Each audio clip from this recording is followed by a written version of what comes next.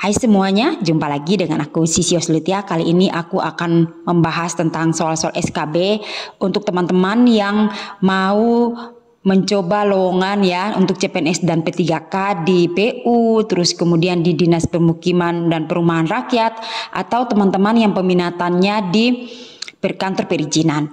Nah, soal-soal ini itu bisa untuk teman-teman yang latar belakangnya itu adalah arsitektur. Nah, kali ini soalnya adalah peran TPA dalam penerbitan PBG dan SLF.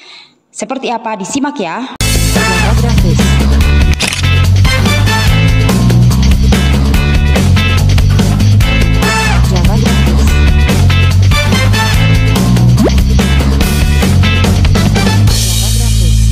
Pertama aku akan membahas tentang dasar hukum dulu.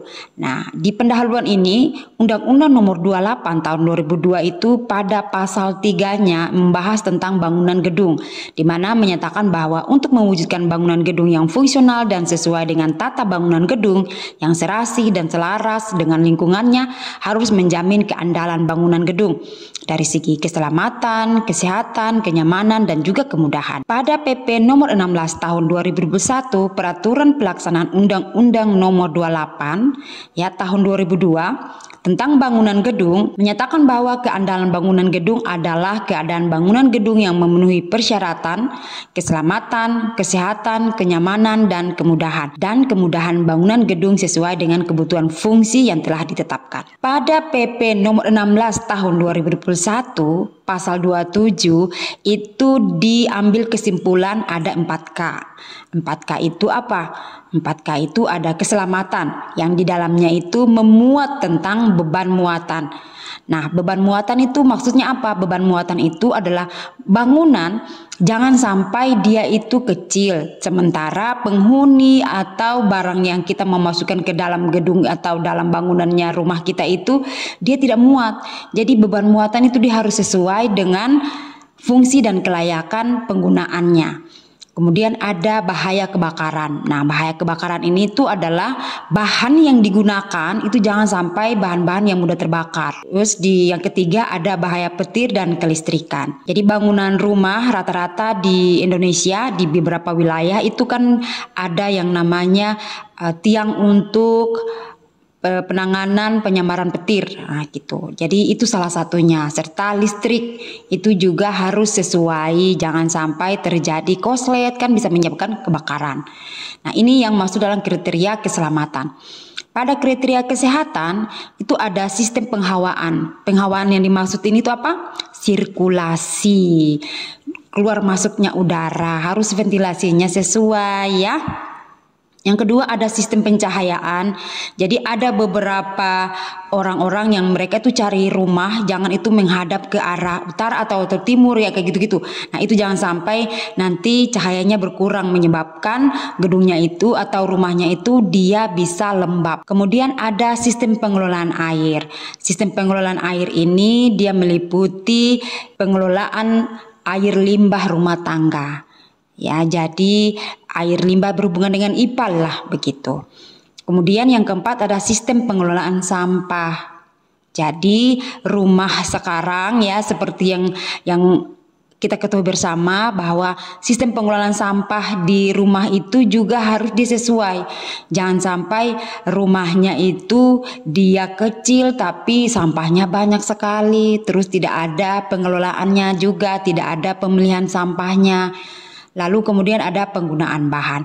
Penggunaan bahan ini jangan sampai mengandung hal-hal yang bisa membahayakan kesehatan seperti kayak asbes gitu kalau ada rumah yang ada menggunakan itu juga harus diperhatikan. Kemudian juga bahan bangunan selain bahan bangunannya juga ada catnya. Jangan sampai catnya itu dia mengandung merkuri ya begitu seperti itulah maksud dari kriteria kesehatan. Berikutnya ada kenyamanan. Nah, kenyamanan itu yang meliputi yang pertama ada ruang gerak. Ya, jangan sampai rumah itu yang dilay yang layak huni hanya untuk empat orang, tetapi ternyata pembangunannya itu malah dia cuma cukup untuk dua orang. Nah, itu jangan sampai seperti itu. Dia masuk dalam metode kenya, eh, dia masuk dalam kriteria kenyamanan. Berikutnya ada kondisi termal, lalu ada view dari dan ke dalam bangunan. Jadi view itu ya minimal kita kalau sudah pulang kerja harus capek sudah capek-capek minimal punya pemandangan rumah yang jauh lebih baik. Terus kemudian tingkat getaran dan kebisingan. Nah, ini biasanya pada gedung-gedung yang bertingkat ya. Jangan sampai ada pekerjaan-pekerjaan lain yang bisa menyebabkan ketidaknyamanan penghuni-penghuni dalamnya. Seperti kayak pembangunan mall, terus kemudian uh, apa namanya gedung kantor yang tinggi-tinggi terus di sebelahnya itu ada aktivitas lain. Nah, jangan sampai ada hal-hal yang tidak membuat penghuni-penghuni lain atau orang-orang kantor lain tidak nyaman. Nah, yang berikutnya ada kemudahan. Nah, kemudahan itu ada hubungan ke dari dan di dalam bangunan gedung. Jadi dia saling kemudian itu maksudnya akses ya. Akses dari dalam gedung itu dia harus sesuai. Jadi kita mau pergi ke sana ngambil sesuatu seperti kayak di dapur. Dapur itu harusnya kan di mana? Harus kan di belakang kayak gitu. Jangan jangan dapurnya di tengah gitu. Itu maksud dari kemudahan akses. Kemudahan itu maksudnya akses ya. Terus kemudian kelengkapan prasarana dan sarana pemanfaatannya. Jadi ini tuh lebih ke logistiknya dari suatu kegiatan yang ada di dalam gedung atau hunian yang kita pakai. Kalau sudah terpenuhi empat kriteria ini, maka bangunan tersebut dia otomatis sangat diandalkan atau memenuhi keandalan. Berikutnya pola hubungan keandalan bangunan gedung. Teman-teman bisa lihat di sini ada tiga kotak yang ke bawah itu ada objek, ada kriteria dan ada sistem. Nah, objek itu apa? Objek itu keandalan bangunan gedung. Jadi bangunan yang andal itu adalah harus memenuhi empat kriteria tadi. Nah empat kriteria tadi itu apa? Ada keselamatan, kesehatan, kenyamanan, dan kemudahan. Nah ini sudah diwarnai teman-teman bisa lihat. Nah untuk keselamatan itu dia masuk di mana? Nah dia ini ada kotak yang sistem. Di kotak sistem ini ada tiga. Ada struktur, arsitektur, dan MEP. Nah, keselamatan itu dia masuk dalam struktur dan MEP. Terus kemudian kesehatan dia masuk dalam arsitektur dan MEP. Kemudian kenyamanan dia masuk dalam arsitektur dan MEP. Nah, kalau kemudahan dia masuk dalam arsitektur dan MEP. Jadi ini tuh dia saling keterkaitan. Nah, untuk memenuhi 4K itu tugasnya tim profesi ahli itu menyangkut semuanya. Jadi bangunan dinyatakan andal ya itu jika memenuhi empat kriteria itu. Kita akan bahas di sini. Terkait dengan peran TPA SMBG. Oke, sebelum itu saya mau jelaskan dulu bagi teman-teman yang belum paham tentang SMBG itu dia merupakan sistem yang terakses langsung terkait dengan perizinan. Jadi SMBG itu nama sistemnya. SMBG itu yang dulu ya namanya kan IMB IMB itu izin membang izin mendirikan bangunan itu IMB. Nah sekarang dirubah lagi menjadi lebih spesifik, lebih sederhana dan lebih mudah diakses, dibuat dalam bentuk sistem online yang disingkat yang disebut dengan ISMBG. Nah untuk penerbitan PBG dan SLF itu tugasnya TPA. Nah untuk menjadi seorang calon TPA bagi teman-teman, TPA yang saya maksud ini bukan tempat pembuangan akhir sampah bukan, tapi tim profesi ahli.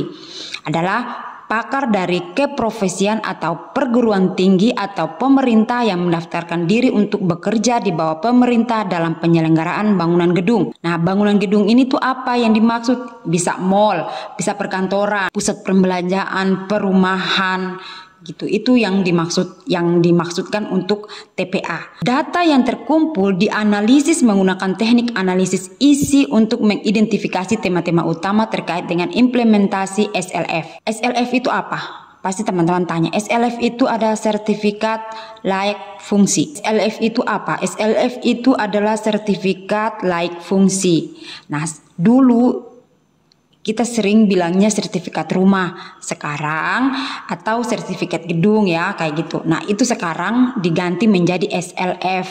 Jadi SMBG itu dia yang berhubungan dengan penerbitan SLF. Kalau dulu IMB yang berhubungan dengan sertifikat rumah. Nah, itu sekarang sudah dirampingkan, dibuat sedemikian rupa hingga disebut dengan SLF.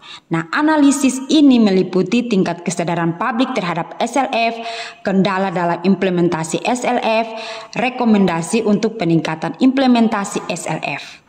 Saya kasih sedikit gambaran, SLF itu sekarang ya buat teman-teman yang uh, untuk pembangunan gedung lalu meminta pinjaman ke bank itu sekarang bank sudah tidak lagi menggunakan IMB lagi tapi bank itu sekarang ya sudah menggunakan sertifikat SLF. Kalau teman-teman kurang paham nanti bisa ceritakan di kolom komentar. Nanti saya akan kasih gambarannya seperti apa.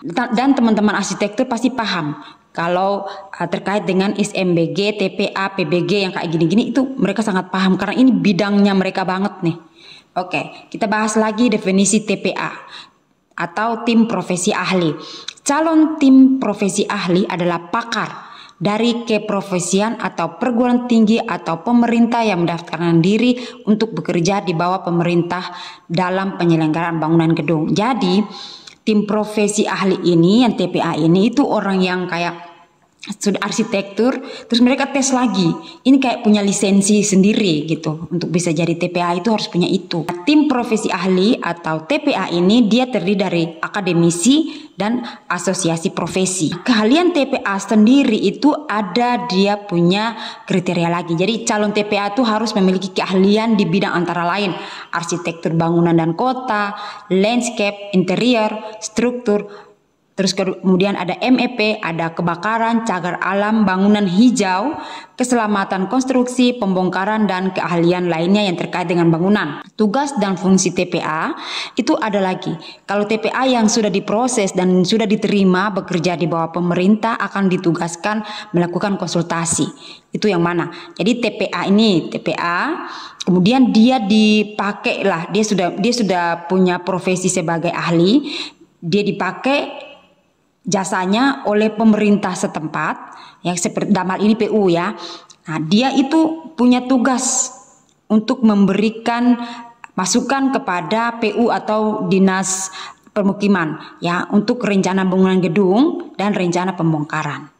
Nah, rencana bangunan gedung itu sebelumnya harus apa dulu? Gedung yang kayak mana dulu nih? Kalau mall harus punya apa? Harus memperhatikan izin lingkungan. Apa itu izin lingkungannya? AMDAL, kayak gitu. AMDAL, terus kemudian UKL UPL. Nah itu salah satunya, itu salah satunya. Terus kemudian ada rencana pembongkaran.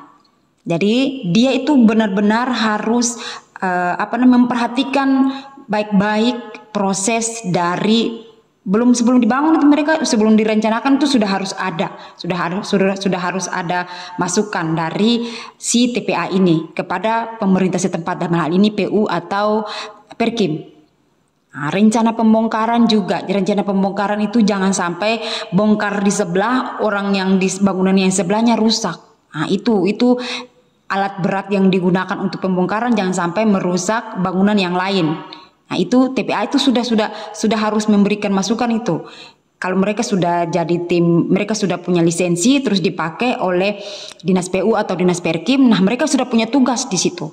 Terus kemudian mereka juga memiliki tanggung jawab memberikan pertimbangan teknis rencana pembangunan, Terus kemudian memberikan pertimbangan teknis terkait dengan pembongkaran, memberikan pertimbangan teknis tata ruang kepada pemerintah, terutama dalam pembangunan gedung kantor pemerintah kota dan daerah kabupaten.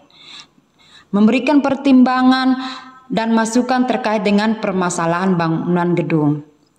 Jadi jangan sampai pembangunan gedung ini itu lahannya sengketa Kemudian jangan sampai aksesnya itu jauh dari kota, jauh dari eh, susah untuk mendapatkan listrik. Nah itu itu dia sudah punya tugas tuh di situ.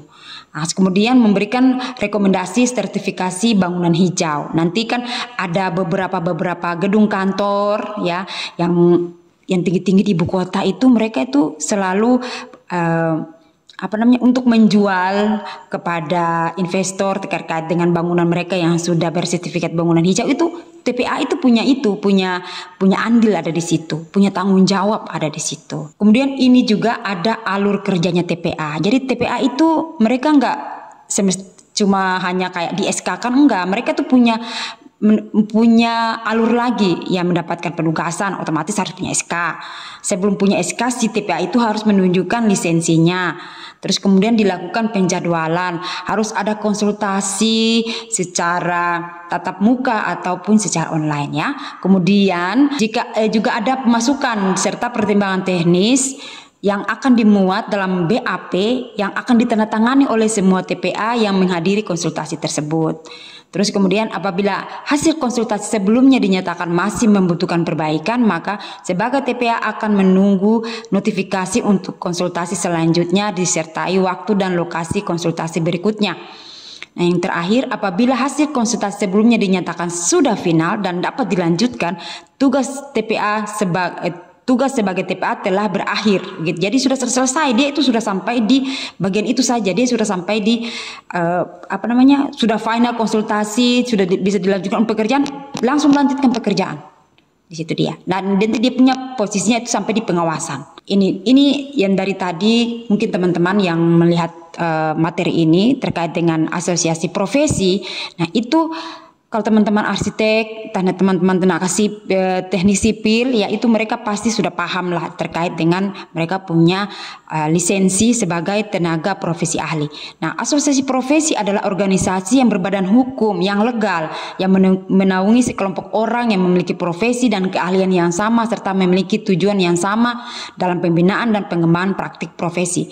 Asosiasi profesi memiliki tanggung jawab untuk membina, melindungi, dan mengembangkan anggota dan keprofesiannya. Ini di tempat kami karena asosiasi profesinya itu baru, terus kemudian yang punya lisensi sebagai tenaga ahli profesi ini baru beberapa orang, baru empat orang kalau nggak salah. Nah, kalau empat orang ini dia dipakai di semua kabupaten kota itu kan ini ini ya teman-teman itu bisa dipakai di provinsi juga boleh di perusahaan-perusahaan besar juga boleh. Karena saat ini saya lagi di Maluku Utara itu sering dipakai oleh tenaga, tenaga menjadi tenaga ahli di perusahaan-perusahaan. Karena tempat kami kan banyak tambangnya terus kemudian uh, lagi proses pembangunan gedung yang luar biasa makin banyak. Jadi mereka tuh kadang dipakai 2 sampai 3 kabupaten kota. Nah itu mereka mampu atau tidak? Nah itu uh, ada juga sih yang cuma ambil satu, terus kemudian dia cuma pegang cuma untuk satu uh, kabupaten aja gitu, atau dia cuma di satu wilayah saja, karena uh, sebagai tenaga profesi ahli ini risikonya juga besar ya. Mereka punya tanggung jawab juga banyak terus kemudian mereka juga harus meng apa namanya memberitahukan ke organisasi yang menemui mereka terkait dengan keprofesiannya masing-masing. Nah, dalam penyelenggaraan bangunan gedung, asosiasi profesi memiliki peran untuk melakukan verifikasi calon anggota TPA yang berasal dari asosiasi tersebut. Nah, jadi jadi ada tingkatannya gitu, teman-teman ya. Ini teman-teman yang di arsitek pasti paham nih. Kemudian untuk TPA unsur akademisi. Nah, ini biasanya kita bahas dulu. Perguruan tinggi adalah institusi yang berkecimpung dalam pendidikan dan calon-calon tenaga ahli yang terampil sesuai dengan minat dan bakatnya. Perguruan tinggi beranggotakan sivitas akademika yang terdiri dari pengajar, mahasiswa, dan pendukung. Dalam penyelenggaraan bangunan gedung, perguruan tinggi memiliki peran untuk melakukan verifikasi calon anggota TPA yang berasal dari sivitas akademika perguruan tinggi yang bersangkutan. Selanjutnya penerapan ISMBG. Nah ini dia nih SLF ini apa? Sertifikat layak fungsi merupakan dokumen penting yang menjamin bahwa suatu bangunan gedung telah memenuhi persyaratan keselamatan, kesehatan, dan kenyamanan penggunaan. Penyelenggaraan SLF di Indonesia diatur dalam berbagai peraturan daerah dan menjadi tanggung jawab pemerintah daerah untuk menerbitkannya. Jadi ini itu jadi uh, urusannya di PU, kemudian atau di Perkim, tetapi dia itu me, apa namanya me, tetapi dia juga melibatkan OPD-OPD lain. Jadi OPD yang bersangkutan seperti kesehatan, dinas kesehatan, dinas lingkungan hidup, terus kemudian Papeda dan juga ada dinas perizinan satu pintu. Nah, kenapa mereka harus ada? Karena mereka lah yang mengeluarkan izin. Jadi SLF ini tuh dia memang keluar dari dari kantor perizinan satu pintu, tetapi rekomendasinya itu dari PU atau Perkim. Namun penyelenggaraan SLF di berbagai daerah menunjukkan variasi yang cukup signifikan baik dari segi aktivitas pelayanan publik, kepedulian masyarakat maupun penegakan sanksi atas pelanggaran.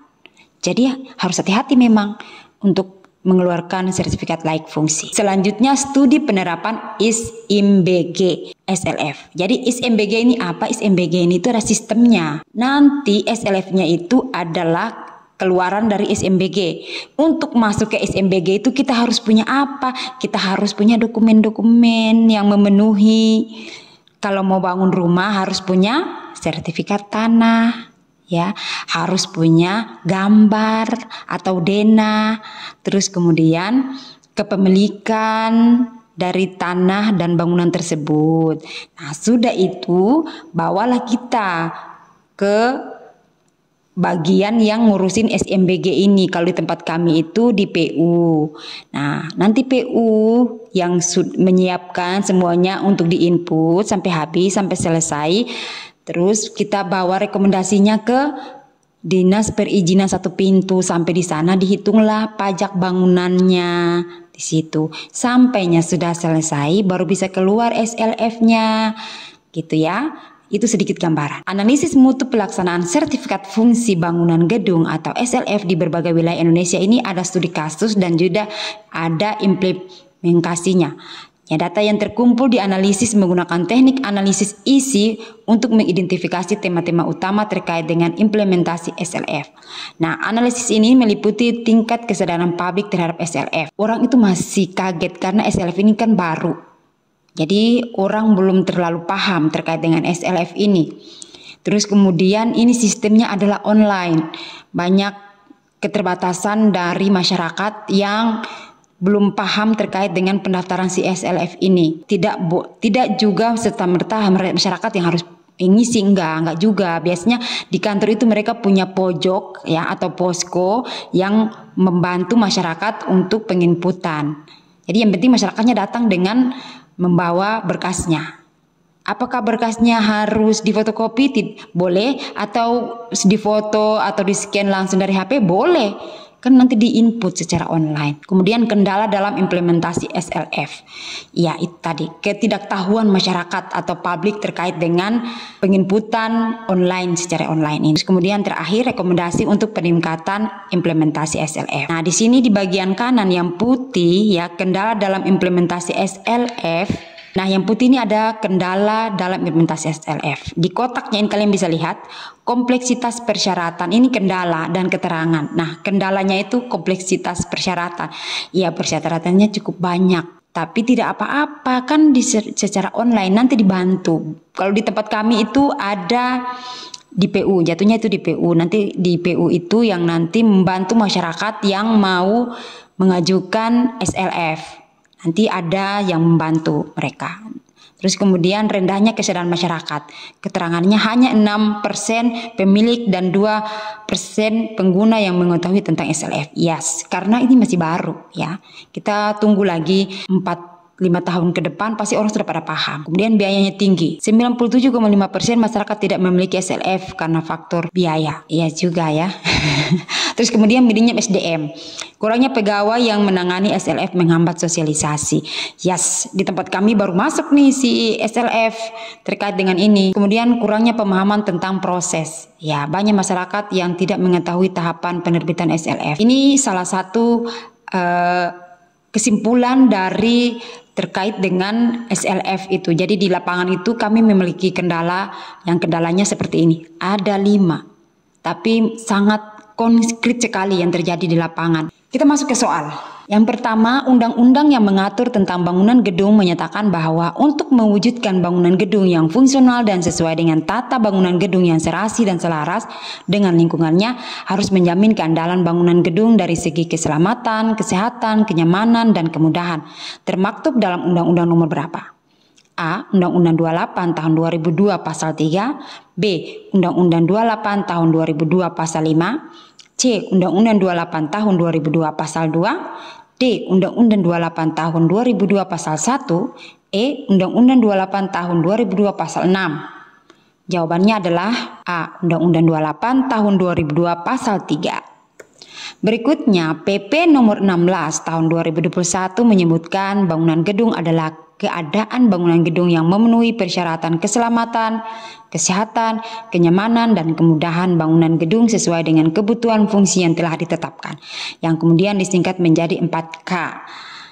Yang termasuk dalam unsur keselamatan adalah A. Ruang gerak B. Penggunaan bahan C. Ruang belajar D. Beban muatan E. Kondisi termal Jawabannya adalah D. Beban muatan Berikutnya nomor 3 P nomor 16 tahun 2021 menyebutkan bangunan gedung adalah keadaan bangunan gedung yang memenuhi persyaratan keselamatan, kesehatan, kenyamanan, dan kemudahan bangunan gedung sesuai dengan kebutuhan fungsi yang telah ditetapkan yang kemudian disingkat menjadi 4K yang termasuk dalam unsur kesehatan adalah A. Bahaya kebakaran B. Penggunaan bahan C. Tingkat getaran dan kebisingan D. Beban buatan E. Bahaya petir dan kelistrikan Jawabannya adalah B. Penggunaan bahan 4. Calon TPA atau tim profesi ahli adalah pakar dari keprofesian atau perguruan tinggi atau pemerintah yang mendaftarkan diri untuk bekerja di bawah pemerintah dalam penyelenggaraan bangunan gedung. Tim profesi ahli meliputi akademisi dan asosiasi profesi. Untuk menjadi calon TPA harus memiliki keahlian di bidang di bawah ini kecuali A. Bangunan hijau atau green building B. Keselamatan konstruksi C. Pembongkaran D. Cagar budaya E. Figur spektrum Jawabannya adalah E. Figur spektrum Nomor 6 Tugas dan fungsi sebagai TPA atau tenaga profesi ahli adalah kecuali A. Memberikan pertimbangan teknis rencana pembongkaran B. Memberikan pertimbangan teknis tata ruang kepada pemerintah C. Memberikan masukan untuk permasalahan bangunan gedung. D. Merekomendasikan sertifikasi bangunan hijau. E. Melakukan upaya sertifikat pinjam pakai bangunan. Jawabannya adalah E. Melakukan upaya sertifikat pinjam pakai bangunan. Nah, itu dia yang bisa aku share ke teman-teman. Semoga bermanfaat. Sampai jumpa. Dadah.